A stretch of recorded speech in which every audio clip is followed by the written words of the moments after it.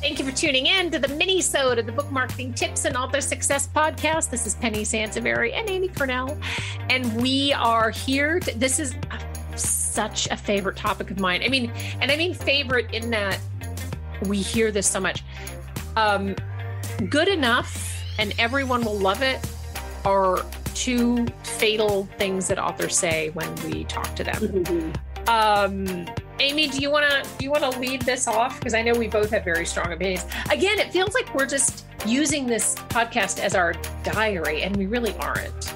I promise. You know, I'm telling you, I think we could sell a lot of like merch with. I have really strong opinions about this because I think a lot of people could resonate.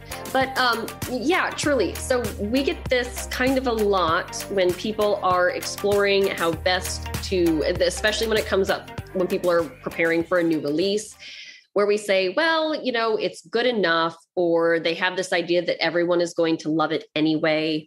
I will say a couple examples that the everyone will love it. A lot of times comes down to an author that say they have a big uh, social following on social media. Right. You know, like, oh, I've got X number of followers on Instagram and on Facebook.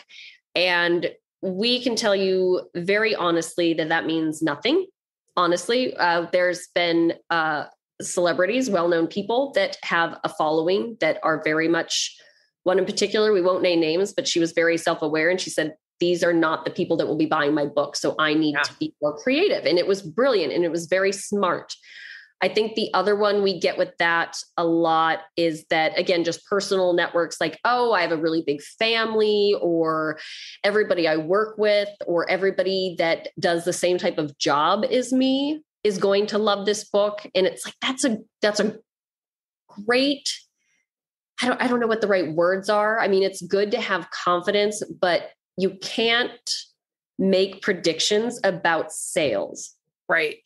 You know, right. that there's nothing that can absolutely predict sales only because of, oh, well, I know this number of people or my social media is great. So, this is kind of the everyone will love it kind of concept is that you think you have all these things set up in place, but there's nothing that guarantees that those people are going to actually follow through. So, you need to have, if, if you're insisting that's your plan A, you know, please have a plan B, C, D, E, and F as well for other things you are going to do to rely on sending traffic to your book page and getting some engagement, you know? Yeah. Yeah, that's absolutely true. And then the other the other piece, the other the other side of that coin is the good enough, right? So, you know, I mean, I, I think that that there's um at some point you do have to walk away from your book and say, okay, I'm done editing it. I'm done tinkering with it. Like I get that completely because I could keep editing my book forever and I would never publish anything. But the good enough piece of it is, and we're going to do a separate conversation on book covers, um, maybe in the next batch of episodes that we record. But you know, my book cover is good enough. Um, the editing, well, you know, I didn't really get. I got one edit pass, and it's really it's good enough.